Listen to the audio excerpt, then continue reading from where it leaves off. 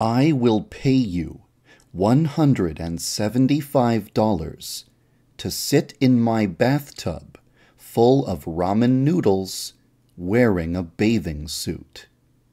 I will not be home, nor will anyone else while you do this. I will give you the keys while we meet, and you will go to my apartment thereafter. It will require a 30 minute soak.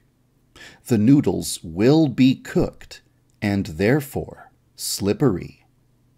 Do not bring any sauce. I will season the sauce after I get home prior to dinner.